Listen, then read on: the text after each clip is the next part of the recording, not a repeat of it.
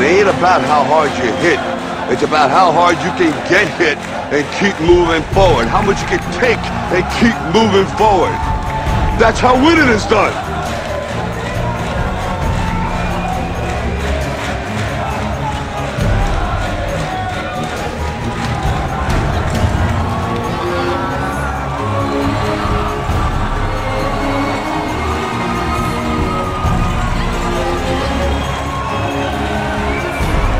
Shall we die for?